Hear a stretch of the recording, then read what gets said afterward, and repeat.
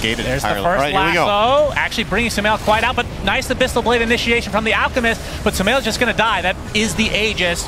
Refresher caught by C Smile, another lasso with a nullifier applied to the Alchemist, just trying to take him away from the fight as Monet's BKB now dissipates. X, X, S, the worst name in Dota, pops the Mars ult, and they're going to find Pakazs relatively easily inside his own base. He does not have buyback at all, but Oh, starting to get low, Alchemist looks dead. Double kill from Panda of all heroes, and XXS is going to go down next. Triple kill, ultra kill for a Crystal Maiden. Are you serious?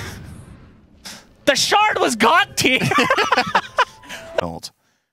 So you see, they have to dive pretty fast, uh, deep, pretty far for this. And Caudle also, as much as I talked about his net worth not being powerful during BKBs, once they end, this hero does a lot. He has a blind, he has tons of AoE damage, control, and yeah.